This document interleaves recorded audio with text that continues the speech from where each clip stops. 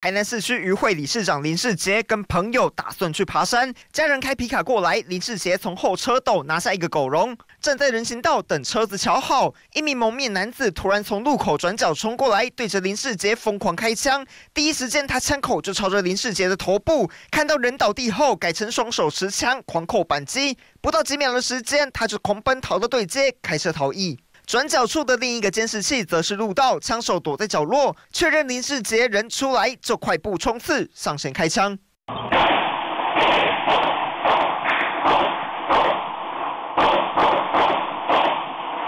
开完枪之后，枪手快步冲过对街，消失在画面之中。而林世杰被紧急送医抢救，半小时左右就宣告不治。发现十一颗弹壳，发现死者颈部、胸腔、肩膀、手臂。均有枪伤。检方经过解剖初判，颈部、胸腔是致命伤，而枪手六秒内开了十一枪，林志杰身中六枪，中弹部位全是上半身，就是要置人于死地。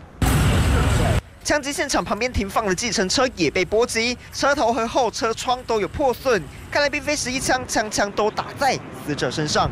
会会枪啊？嗯，吹波啊？吹波？吹波啊？啊，廖有人嘛，廖有人啊，蛮有钱啊。做嫌犯是持双枪来办案吗？呃，目前初步看影带的状况很像是，但是。详细的状况都还是要由我们监视的人员做一个详细的解析。歹徒有备而来，就是要取林世杰的性命。检察官也将会对林世杰的遗体进行电脑断层扫描，并进一步解剖枪手下落有没有共犯，都是追查重点。警方要全力缉凶。东森新闻黄瑞玲、王子明、林女信在台南报道。监视人员来回搜证，林世杰枪击案歹徒作案的车子被寻获时已经被烧毁。啊，香啊，嘣一声足大声。嗯。啊，你要有一个啊，一下就破的倒起呀。啊，你有看到什么可疑的人？无无。台南市消防局是在清晨五点五十四分接获通报，换句话说，歹徒作案后没多久就烧车，企图湮灭证据。因为警方在副驾驶座找到行凶的枪支，这是一桩计划好的谋杀案吗？调出林世杰遇害前住家的监视器画面，每周一、三、五清晨五点多，他就会出门爬山。歹徒显然观察过他的作息。案发前十五分钟，五点二十九分，穿着黑色上衣、牛仔裤的枪手就出现在林世杰住家二十公尺外的转角埋伏。五点四十四分行凶，开枪后他快跑逃到对街，之后开车过来，从旁边的巷子离开。一连串的行凶路线，一切都在歹徒的计划之中。凶嫌当时就是躲在这个广告招牌后方，往骑楼方向看过去，发现林世杰从家门口出来，正要去爬山，立刻冲上前开枪。从对面的角度来看，凶手就躲在转角处的招牌后方，观察林世杰在家门口的动静。从这个视角看过去，正好可以看到林世杰的一举一动，伺机下手。随着附近的监视器画面一一曝光，歹徒的作案计划也更加清楚。从枪手的装扮，他戴墨镜、口罩。帽剃套头，刻意掩盖面容。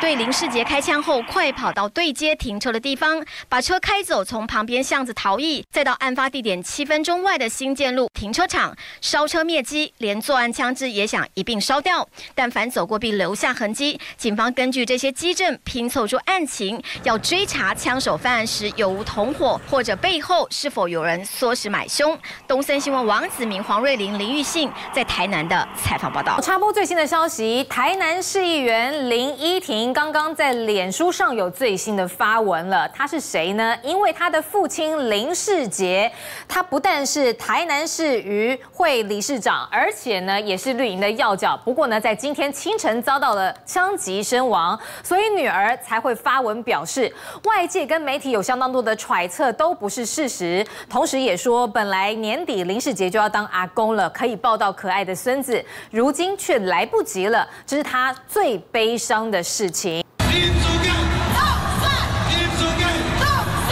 被枪伤的林世杰曾经选过市议员，当时市长黄伟泽牵起他的手助选，两人频频同框。林世杰从未掩饰从政的渴望。没能当上议员，他在渔会耕耘，还把女儿林依婷送进市议会，靠的就是他在绿营派系的关系。议长贿选案，他要二审了嘛，所以会不会觉得这案件有关联？我我想，呃，这个有请交由警方这边来曾经在正副议长贿选案中和邱丽丽一起全身而退，林世杰与邱丽丽有革命情感，加上女儿是市议员，邱丽丽二话不说要帮忙治伤。实际上，林世杰因为与郭在清是好友，一度被归为清音系。竞选市议员时，还获蔡英文亲自授旗。不过，在女儿担任黄伟泽市长秘书时，又跟黄伟泽走得近，被视为亲市长派。随着政治环境变化，女儿力挺立委林俊宪竞选下届台南市长，林世杰又向赖系靠拢。是余会理事长嘛，就像像大家所知道的，但是基本上他没有选举以后，就很少看到他。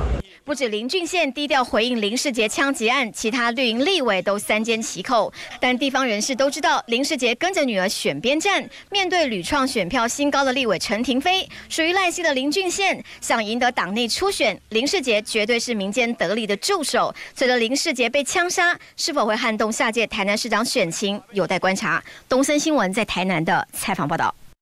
好，至于带来关心的是今天震惊台南的枪击案件，这是台南市的渔会理事长林世杰的枪击案件。现在我们掌握到是凶嫌犯案之后开车离开之后，把车放在一处停车场，而且还纵火烧车。最新的侦办进度，请林玉信来告诉我们。那么，渔会理事长呢林世杰遭到枪击身亡的事件呢，目前最新的案情进度呢，就是嫌犯作案的车辆呢，是在五点五十四分的时候，其实就已经被嫌犯是已经开到这个新建五十三巷这个停车场。他停下来之后呢，并且在车内是泼洒了去渍油。那么一把火燃烧了之后呢，整个车子里面是面目全非。不过呢，警方是在副驾驶座里面找到一把疑似作案的凶枪。那么来听一下目击者怎么说。我伫庙内。在放香，在放茶，啊香哦，嘣一声足大声，啊你啊有一个啊，伊写着火就倒起啊。我头啊阵嘣声，我若毋知影，我来准是人在烧，啊到佫佫一个啊停一个尔，火倒起来。怎迄个安尼，佮佮知影拄啊拄迄个来，伊佮怎怎过迄个，啊恁无伊咧拍一个啊，恁恁倒来啊。那目击者表示呢，当时是听到了非常大声响，出去看的时候，整辆车都已经起火燃烧，也因此立刻来报警。不过呢，警方之后赶到的时候，是在副驾驶座上找到作案的枪支之外呢，这个目击者呢，他并没有发现说可疑的人士来进出。那么根据我们了解呢，其实这个停车场，也就是嫌犯做把车子弃置在这里的地方呢，最近的这个港口大概是距离二点五公里。如果他是没有任何共犯接应的状况，可能步行也要半个小时。但是如果前提是有人接应的话，可可能六分钟就可以抵达最近的一个渔港，有可能因此这样就潜逃出海。不过目前整个侦办进度包括了车子被烧毁，刚刚稍早的时候呢，在三点钟的时候呢，第六分局是有做出说明。不过针对已经被发现的作案车辆已经被烧毁，跟任何的案情呢，都是三缄其口。以上是我们在现场所掌握到的一个最新状况，把时间交还台北。新闻一把照，接下来的新闻由我来说给你听。我们要持续关注的是刚刚你看到的渔会理事长林世杰的枪击案件，为什么重要？因为林世杰是在当地有头有脸的人物，你能想象他清晨出门就在家门遭到枪击？你从现场来这边看，当时警方慢慢来清点现场清的弹壳，清点了，至少他被开了十一枪，而初步的勘验多数都往致命处打，包括他的头部、颈部。跟胸部，尽管紧急送医，仍然是不治，而且嫌犯还在逃。好，不过我们要谈到的是，这个作案手法随着监视器曝光，越来越朝预谋犯案来侦办。尤其是你怎么会知道死者有成运的习惯呢？第一时间你可以看到这些画面，死者出门之后还在车前搬东西哦，直到车子一倒车之后，接下来你可以看到另外画面，枪手立刻冲出来开枪，最后还近距离补了几枪，才马上逃逸。这个手法是非常典型的，是置人于死，跟过去这种恐吓的意味完全不同。而现在我们从刚刚的连线知道，嫌犯车毁了，那警方要查接应的是谁，甚至警方不排除封锁各大港口，就怕他做筒子，企图偷渡。七月八号清晨五点四十分，台南市渔会理事长林世杰正准备要外出爬山，家人把车开出来，他去后车斗上把狗笼拿下来。这时一切看来都很正常。就在林世杰站在人行道等自家车倒车时，一名男子冲出来开枪，林世杰被逼到角落倒地后，枪手又近距离补了几枪，迅速逃逸。林世杰被紧急送医抢救，三十分钟后宣告不治。回到枪击现场，地上。还留有好几个弹壳，地方政治要角在自家门口遇袭，警方来来回回做地毯式的搜证。林世杰从家里走出来之后，就是在这里遇到枪手，被近距离开枪身亡，而凶手就是埋伏在隔壁三间这个骑楼，显然早有预谋。枪手不止预谋，恐怕也事先勘察过地形。枪手算好了开枪将林世杰击倒之后，正好有大招牌遮蔽做掩护，在近距离开枪，目的就是预谋夺命。附近住家的监视器画面也看得到，枪手在案发前快跑经过这一排联动的透天厝，躲在离林世杰住家最近的一个招牌后面。案发后离开现场也被拍得一清二楚，显然有人接应。到底是谁想夺林世杰的性命？我们目前初步看到。呃，是一人，但是并不排除，哦，不排除共犯，所以目前还在厘清当中。警方在现场找到十一个弹壳，初步断定歹徒至少开了十一枪。在林世杰倒下的地方，旁边计程车引擎盖也有弹孔，显然歹徒并非每发都中。究竟是谁下的毒手？警方已经掌握可疑车辆，全面缉凶。东森新闻黄瑞玲、王子明、林玉信在台南的采访报道。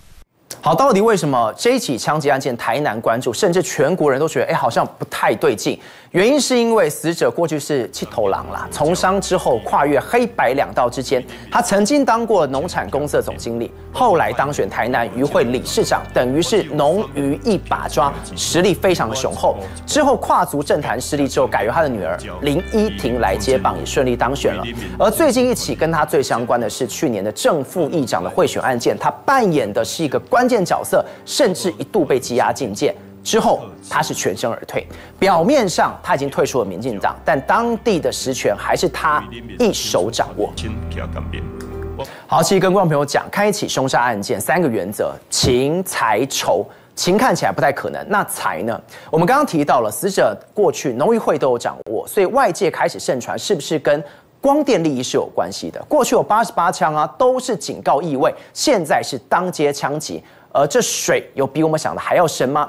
另外一个猜疑是刚刚提到的仇，他过往有背景，是黑道寻仇吗？还是当时议长的贿选案件得罪人呢？这两个动机不仅嫌犯要落网，更要找到嫌犯落网之后后面的唆使者，才能真相大白。登上雪山东峰顶，在海拔三千多公尺的山顶上留影。他就是林世杰，兴趣是爬山。北大武山他也曾到访过，喜欢走山林步道，也喜欢在山顶上欣赏云海。甚至在去年一月爆发台南议长会选案时，检方发出拘票，林世杰一度销声匿迹，说法也是去爬山，所以讯号中断。如今却在八号一早要跟朋友去爬大洞山，却在家门口遭枪击身亡。林世杰是渔会的理事长。枪手埋伏有备而来，在地的立委得知消息，深感震惊。这个事情当然大家都很惊讶，因为理事长嘛，就像像大家所知道的，基本上他没有选举以后，就很少看到他。林世杰交棒给女儿林依婷之后，鲜少在台面上曝光，但在地方上还是相当有影响力。当初他卷进议长选举案，就是他把蓝营的议员方一峰请上车，这一回遭枪击。过去就曾传过他有黑道的背景，会是遭寻仇还是利益纠葛？跟贿选案相关人有关吗？看的贿选案交一关，他有什么？安那安那道法道得开？林理事长诶。接下来时阵，一一一阵我唔捌你啦，我我真的唔捌你嘅。枪击案发生之后，地方上也有耳语，猜测会不会跟光电案有关？尤其是台南市啊，光电利益牵扯那么大，几乎常常开枪，这背后就是利益摆不平。喜欢爬山的林世杰在自家门口遭枪杀，究竟是牵扯什么样的利益纠葛，还是跟人结下什么恩怨？到底跟光电案是否有相关联？外界都想知道。东森新闻在台南的采访报道：台南市渔会的理事长林世杰清晨在自家门口遭人枪击，他的女儿也就是台南市议员林依婷下午现身，哽咽的表示自己的父亲没有跟任何人结怨，现在盼检警能够尽速追查。事情发生了，但是希望大家给我们空间。那，嗯，我们相信警方可以赶快、赶快来追查。那我们剩下的就拜托大家给我们空间，谢谢。就有看过那个监视器，认识那个年轻人？不认识，不认识。他最近有接到有人没有，一切都非常的平凡，非常的正常。爸爸的作息都很正常，所以。我们现在什么都不知道，我们就交给警方，好不好？清晨的连续枪声后，台南市区渔会理事长林世杰的人生就此停格。林世杰绰号土鸡，也是民进党台南市议员林依婷的父亲，还曾经参选过台南市议员。当时黄伟泽牵起林世杰的手，多次浮选，频频同框。尽管最后没有选上，也获聘农产运销公司总经理，被视为是亲市长派。如今在自家门口遇袭身亡，黄伟泽只是要在最短时间内破案。面对这样子的凶手的凶残的行径，应该呃整个社会都是非常的愤慨。那也希望警方尽速在最短的时间内啊将。啊！行凶者绳之以法。林世杰遭枪击不只是治安问题，在政坛也议论纷纷。由于他与涉及台南八十八枪枪击案的前民进党中执委郭在清是妈吉，加上去年涉及台南市正副议长贿选案，他涉嫌恐吓蓝营议员，一度遭羁押禁见，最后全身而退。尽管已经宣布退出民进党，依旧在台南政坛扮演关键角色。林世杰曾经走过江湖，从商后黑白两道都吃得。开不仅掌握与会系统和地方派系关系深厚，歹徒到底与他有什么深仇大恨，非得要取他性命？后续有待警方抽丝剥茧。东森新闻黄从群、黄瑞玲、王子明、林玉信在台南的采访报道。七月八号清晨五点四十分，台南市渔会理事长林世杰正准备要外出爬山，家人把车开出来，他去后车斗上把狗笼拿下来。这时一切看来都很正常。就在林世杰站在人行道等自家车倒车时，一名男子冲出来开枪，林世杰被逼到角落倒地后，枪手又近距离补了几枪，迅速逃逸。林世杰被紧急送医抢救，三十分钟后宣告不治。回到枪击现场，地上还还。留有好几个弹壳，地方政治要角在自家门口遇袭，警方来来回回做地毯式的搜证。李世杰从家里走出来之后，就是在这里遇到枪手，被近距离开枪身亡，而凶手就是埋伏在隔壁三间这个骑楼，显然早有预谋。枪手不止预谋，恐怕也事先勘察过地形。枪手算好了开枪将林世杰击倒之后，正好有大招牌遮蔽做掩护，在近距离开枪，目的就是预谋夺命。附近住家的监视器画面也看得到，枪手在案发前快跑经过这一排联动的透天厝，躲在离林世杰住家最近的一个招牌后面。案发后离开现场也被拍得一清二楚，显然有人接应。到底是谁想夺林世杰的性命？我们目前初步看到，呃，是一人，但是并不排除，哦，不排除共犯，所以目前还在厘清当中。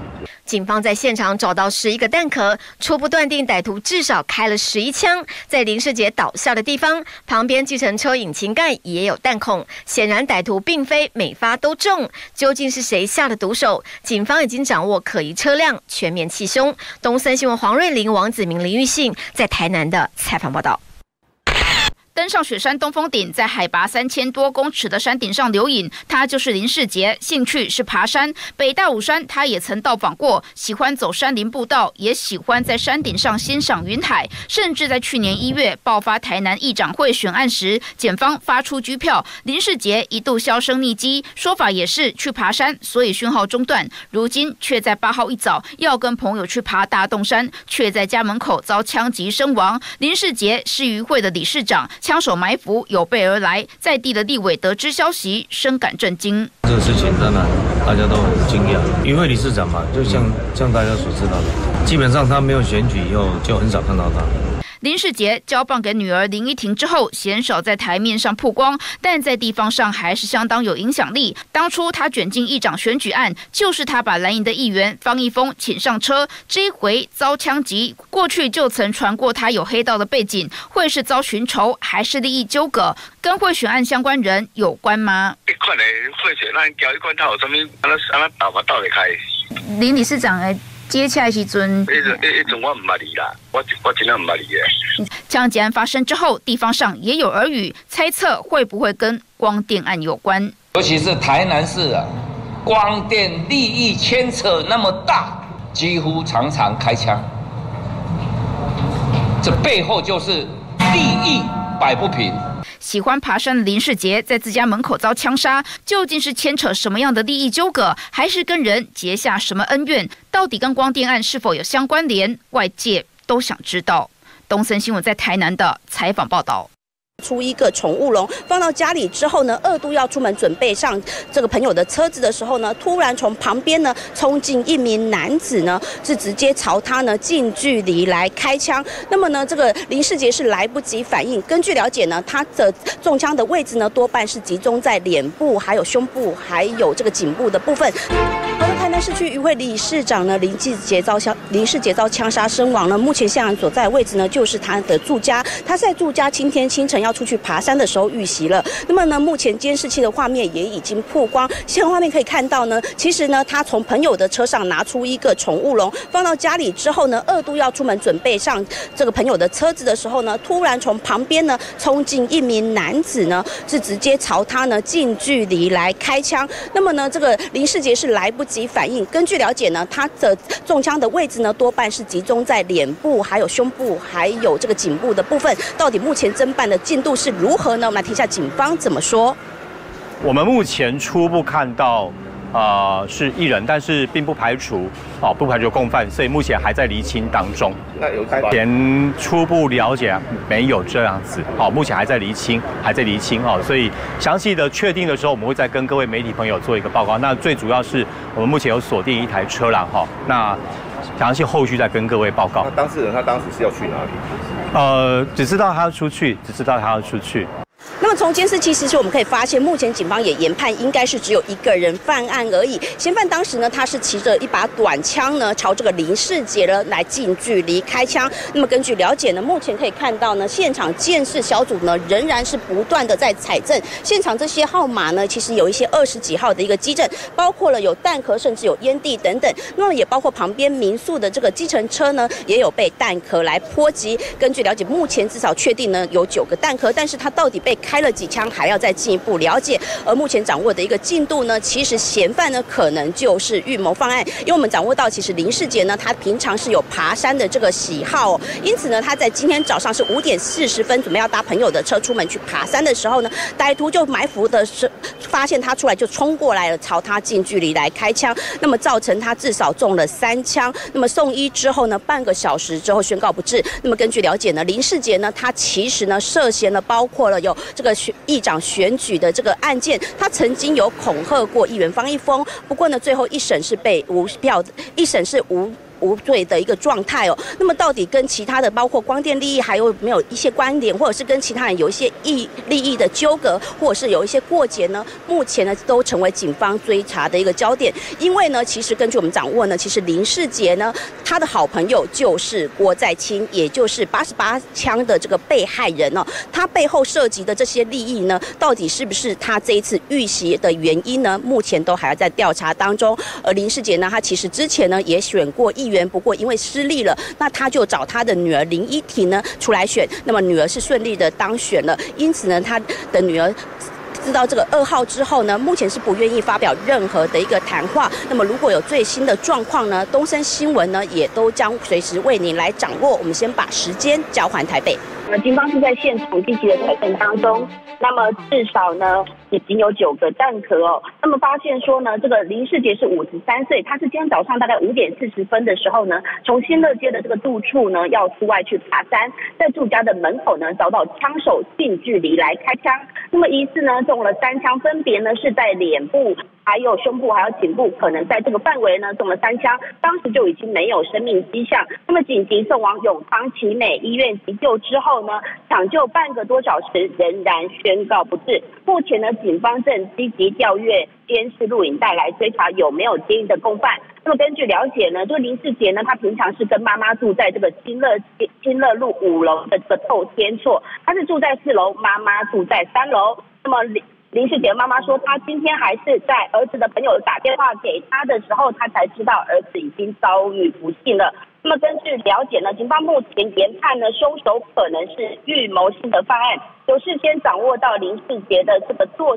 息。那么呢，怀疑说呢，可能是有一些恩怨，或者是有一些过节。因为我们知道呢，曾经选议员失利的这个林世杰呢，他后来呢是推女儿出来林依婷人，那么也是当选，他的他的女儿呢就是林依婷，也就是现任的这个市议员。而林志杰呢，他其实也在过去呢卷入了议长选举的这个恐吓案，那么被控被控这个恐吓方锋，不过一审是宣判无罪的。到底他今天被枪击身亡，是否与这些恩怨有关，还是跟人有什么过节？